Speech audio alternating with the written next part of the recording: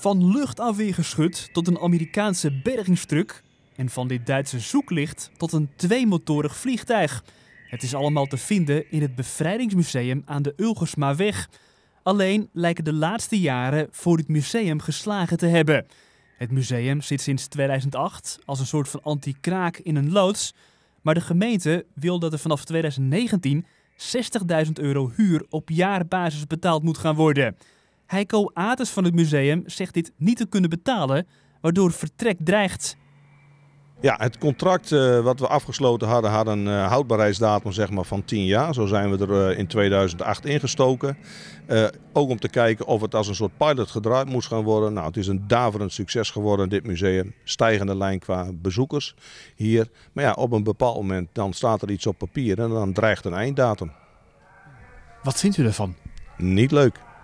Nee, ik vind het niet leuk en zeker niet op dit moment. Uh, in aanloop naar 2020, 75 jaar bevrijding. Ik heb de agenda eigenlijk nu al stampensvol met aanvragen van scholen voor rondleidingen. Dat doe ik dan ook door de week.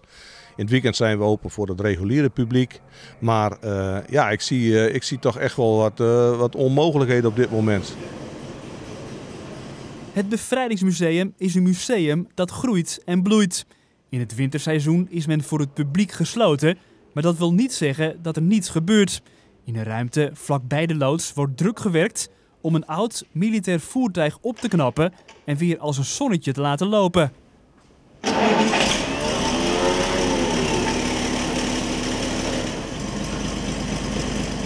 Nou, dit museum is van onschatbare waarde in die zin. Ik voldoe aan de publieke behoeften. ik ben het enige museum in deze hoedanigheid boven de rivier. En daar bedoel ik mee qua grootte. Uh, er staan veel voertuigen die ook gebruikt zijn bij de bevrijding van de stad Groningen zelf. Ja, ik krijg alleen maar van mensen te horen die zijn geweest. Het is een pareltje van de stad Groningen.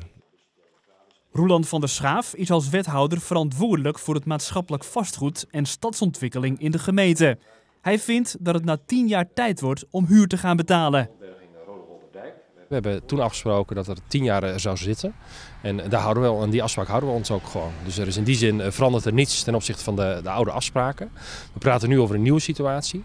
Het museum heeft aangegeven, in tegenstelling tot in het verleden, er langer te willen blijven zitten. Nou, daar gaan we even kijken of dat überhaupt mogelijk is op die locatie. Hè? Want het pand is daar natuurlijk niet voor, uh, ooit voor bedacht. En als het zo is, ja, wat daar aan kosten, aan huur tegenover moet staan. 2018 wordt een moeilijk jaar. Wat is de beslissing wat de gemeente wil? Ik ben best bereid om een symbolisch bedrag uh, te gaan betalen voor dit pand als huur. Maar ja, dan moet je meer denken in de trant van 1000 euro op jaarbasis.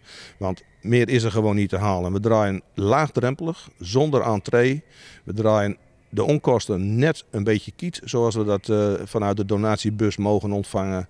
Dus ja, uh, mocht het doek vallen, dan heb ik 2018 echt nodig om het spul te gaan verhuizen. En dan zal er een deel verkocht moeten gaan worden. En een ander deel, ja, zeg het maar, moet, moet ik onderbrengen in een ander pand.